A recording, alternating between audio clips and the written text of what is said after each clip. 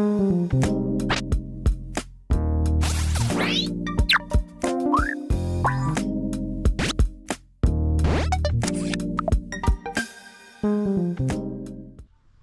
everybody, I'm MUCKER671 and welcome to my channel. I'm going to do a short review on what's more of a show and tell really on the belly boot tuning setup that I've just picked up for my uh, Minn Kota saltwater. Um, bit of a beast it is, it's a nice trolling motor that converted to, uh, well it's a 12 volt but the battery you put in 16.8 volts is 60 amp hour, lasts roughly about 10 mile range, that's if it in perfect conditions, you know, no wind, no tide, nothing like that.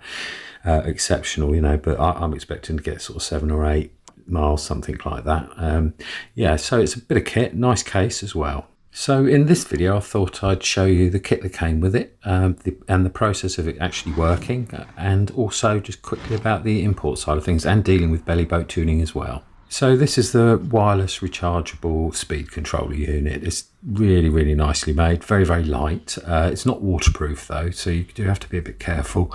Excuse me, I will show you the plugs and everything. Uh, also the start and uh, plugging in, the starting up and the unplugging process as well at the end.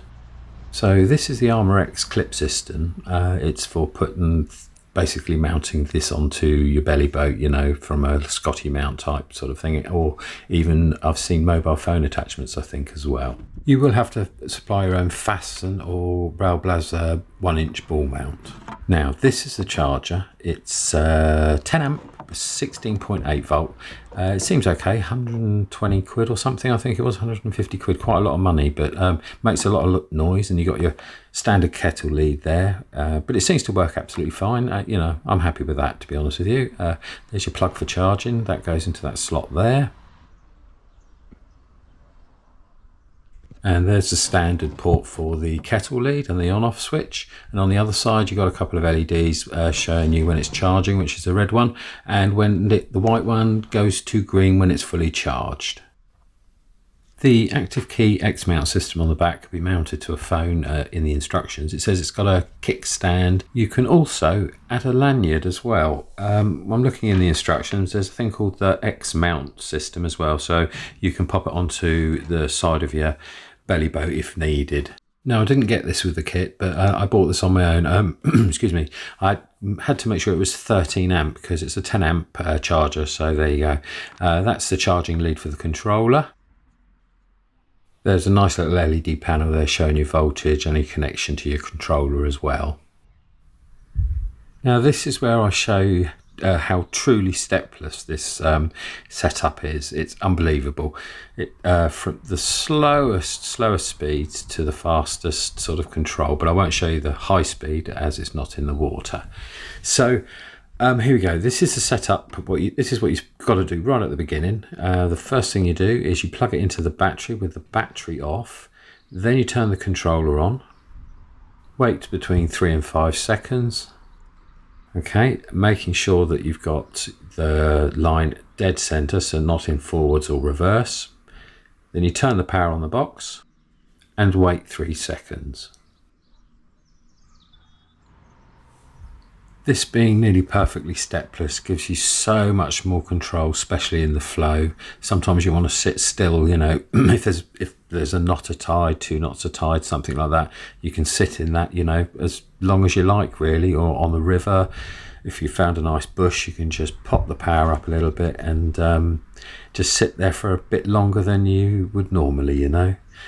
Obviously, I'm not going to turn the power up because it's out of the water, but truly stepless um, and that's how you turn it off. First of all you turn the battery off then you turn the controller off and then you unplug the motor. So if you live in the UK uh, don't worry about importing. It's really easy. Just give them a ring tell them what you want and uh, they'll stick it in the basket or you stick it in the basket yourself online uh, and they'll then send it to you. You get it within four days. You uh, get a text from the delivery company when it gets to customs. So you have to pay VAT, obviously. So you just follow that link, pay the VAT, and within a couple of days it was at my door. So it was really simple, and they speak brilliant English. Talking of imports, if you know my channel, you know I do a lot on the Thames, River Thames. Uh, well, I'm starting to do a bit on the sea fishing side of things, bass and mullet. well, I'm going to be using this on the River Thames and at sea. Uh, it's the belly boat from 12bb.eu. Uh, have a look at their website; it's absolutely excellent. I'll leave the link below. Same with belly boat tuning with the uh, with the batteries. Uh, but this is a bit of a worry. I've sort of said send it all over to me in bits, and I'll put it all together. And I've got all the bits. Oh, such high quality; it's unbelievable. Actually, um, they're a great company to deal with. I'll leave a link at the end. It'll look like that um, for you to click on, and uh, we'll speak soon. Well, fingers crossed. I'll be on the rivers and sea